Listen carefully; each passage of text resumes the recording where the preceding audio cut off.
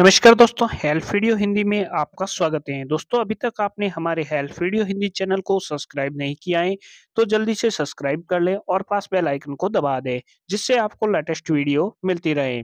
दोस्तों, आज हम बात करेंगे एक मुख्यमंत्री अशोक गहलोत द्वारा भाषण के दौरान उज्ज्वला गैस योजना का सिलेंडर पाँच सौ रुपए देने का वादा किया गया था।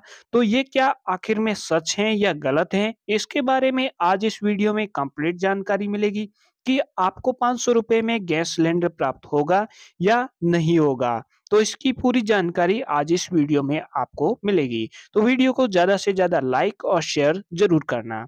दोस्तों, मुख्यमंत्री अशोक गहलोत ने महँगाई के दौर में गरीब तबके के लोगों को राहत पहुँचाने के लिए काफ़ी प्रयास किया है। इनकी घोषणा केवल उज्ज्वला गैस योजना के तहत ही ये की गई है। यानी कि जिन लोगों को ही पाँच सौ रुपए में सिलेंडर मिलेगा जो लोग उज्ज्वला योजना में जुड़े हुए हैं। यानी कि उज्ज्वला योजना में जिसमें आपको फ्री में गैस सिलेंडर प्राप्त हुआ है तो उन लोगों को पाँच सौ रुपये में गैस का सिलेंडर मिलेगा। तो इसमें प्रदेश, राजस्थान के लगभग गुणसितर लाख चौबीस हज़ार सात सौ पिचहत्तर परिवार जुड़े हुए हैं, पंजीकृत हैं। तो इन लोगों को सरकार द्वारा पहले से दो सौ रुपये की सब्सिडी दी जा रही थी, जो कि केंद्र सरकार द्वारा दी जा रही थी।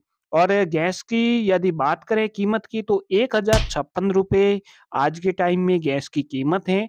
तो दो सौ रुपये की सब्सिडी राज्य, केंद्र सरकार की मिल जाती है। तो अब सरकार द्वारा, राज्य सरकार द्वारा तीन सौ छप्पन रुपये की और राहत प्रदान कर दी जाएगी। तो आपका जो घरेलू कनेक्शन है, वो आपको पाँच सौ रुपये में पड़ जाएगा। यानी कि आपको घरेलू कनेक्शन के लिए पाँच सौ रुपये टंकी भरवाने के लिए देने होंगे। तो तीन सौ छप्पन राज्य सरकार वहन कर रही है, दो सौ केंद्र सरकार ऑलरेडी आपको सब्सिडी दे रही है।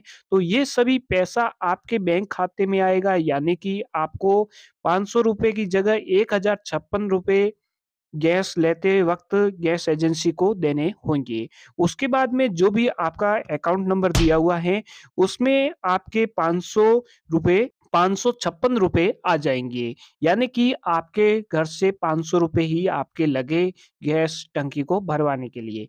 इसमें आप अधिकतम बारह घरेलू गैस सिलेंडर ले सकते हैं। उससे यदि ज़्यादा आप लोगे तो आपको सब्सिडी प्राप्त नहीं होगी। 12 टंकी यदि आप सालाना लेते हैं तो ये स्कीम आप पे लागू होगी। तो दोस्तों, आशा करता हूँ ये वीडियो आपको अच्छी तरह से समझ में आ गया होगा। ये वीडियो आपको अच्छा लगा है तो लाइक करना, चैनल को सब्सक्राइब करना। मिलते हैं अगले वीडियो में। जय हिंद, जय भारत।